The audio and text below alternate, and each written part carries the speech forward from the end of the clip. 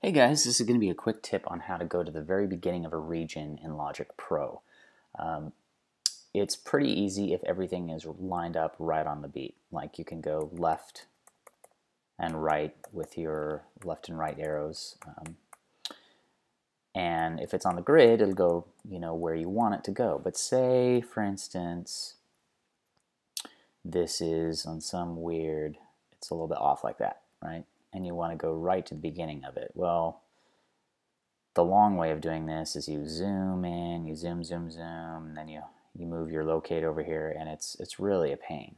So the quick function for this is if you just select your, your region and you hold you you click three commands. It's function, control, and left arrow.